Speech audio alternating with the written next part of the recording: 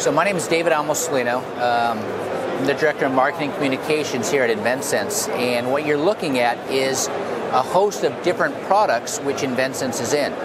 InvenSense produces uh, motion sensors, uh, specifically MEMS, and we produce uh, devices which are in uh, many of the current Android devices today.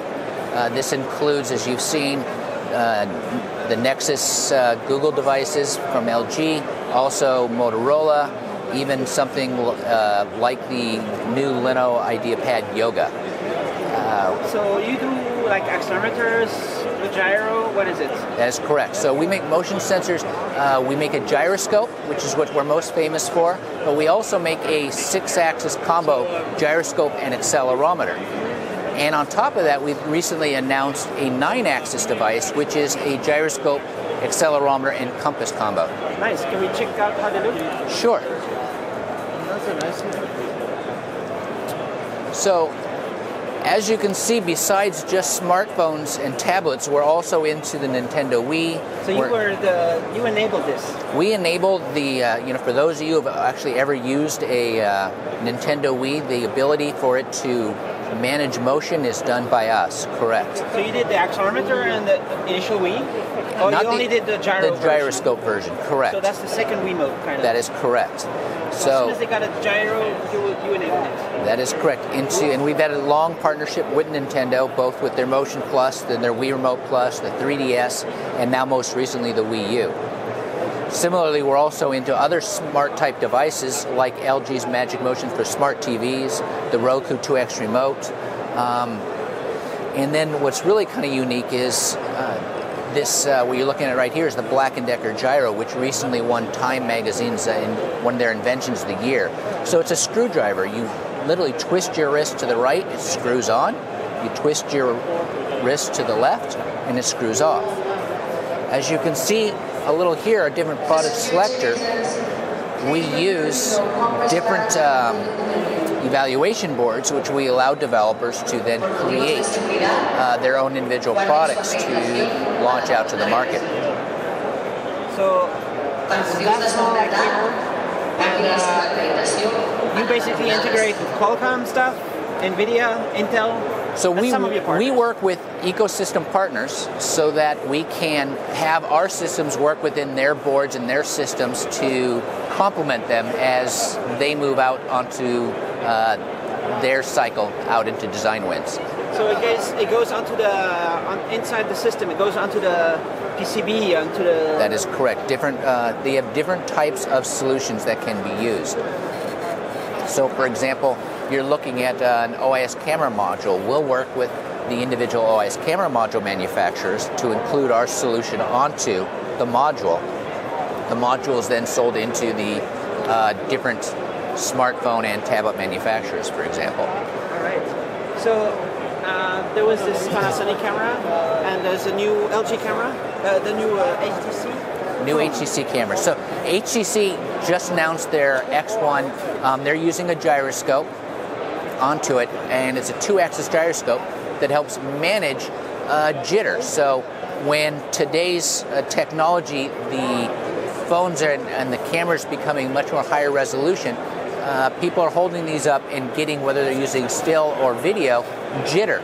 The OIS, the optical image stabilization, controls that jitter and smooths out either the video or makes a crisper picture. All right. So uh, these are the wafers that come out. Where where are they made?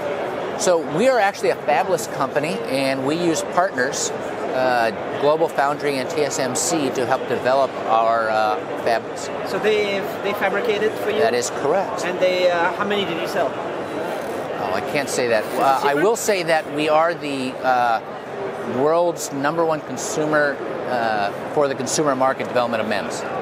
And that's uh, gyro, but also accelerometer. But Gyro, number one in yeah. gyro. So the That's- first generation really was gyroscopes, right? Second generation um, is a gyroscope accelerometer combo, adds more precision, etc. And then uh, the next generation is the nine-axis, which is that, as I mentioned, the uh, gyro accel and compass combination. So is that fusion? the, the. So their sensor fusion actually works together to make those work cohesively together. What's really interesting is we actually have a demo that is a health uh, and sports and fitness watch, and in that watch, it actually can. Oh, we did with our local Japan folks. Uh, the watch itself can work so that it's all of our nine axis, but also it'll have a heading, UV index, humidity, light, temperature, and pressure sensor all working together. So is it uh, right now showing results somewhere? It is. Somebody's got the watch on, Okay. which, uh, It's not this one. no, no. Okay. Which Some- is uh, reporting right here. Direct contact. Who's got the watch? Tanya does. Right. So, Uh, Tanya, so it's uh, reporting there right, right here, right here, Bluetooth. And uh, that's not it. Sorry. no, no, I'm sorry. Tanya has the watch on, so I'm trying to get Tanya over here. Apologize. No, she's she's just has to take the watch off. So go ahead and give a quick demo. What you're looking at is a solution that's a nine-axis solution. You didn't even want to do the demo. So the movement that he tracks right now on his wrist is being tracked actually through the tablet and just being shown up on the screen. That's so awesome. Yeah. So Now- is it Bluetooth? This is Bluetooth and VDM both are there. Yeah, that's the mouse. So Bluetooth and what? Uh, this uh, they will use a module which has both Bluetooth and Bluetooth Low Energy. Bluetooth and uh, so Bluetooth 4.0. Yes. All right. Cool. Is this uh, going to be in the market? Uh, this is a demo development kit, so it's mostly for developers. Is it more precise or better than uh, Fitbit and all that stuff? And all these uh, watches that people have? Fitbit, all these watches would be our customers. So as long as uh, they use our sensors or They will be Uh, more precise. It will be the best way to measure movements and all that. uh, with gyroscope, the movement measurement would be a lot easier.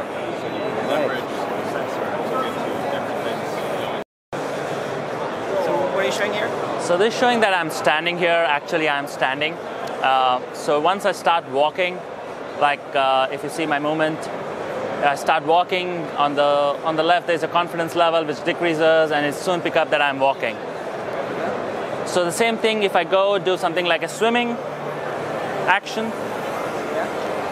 Uh, we trained it uh, to recognize this as swimming, so you can train it to recognize anything as swimming or any activity you want. Then it goes and says, I'm swimming. Uh, now, if I do started doing swinging action, so it will soon pick up this as, hey, you're swinging. So it says swinging. So it could detect any activities what you perform, uh, basically. And with better activity recognition, you have perfect calorie burn rate that one can estimate.